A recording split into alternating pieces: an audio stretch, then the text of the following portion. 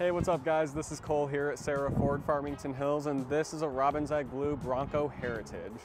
Not only do you get this awesome white grille with this vintage white lettering here and white wheels, this one comes equipped with a 7-speed manual transmission including a crawler gear.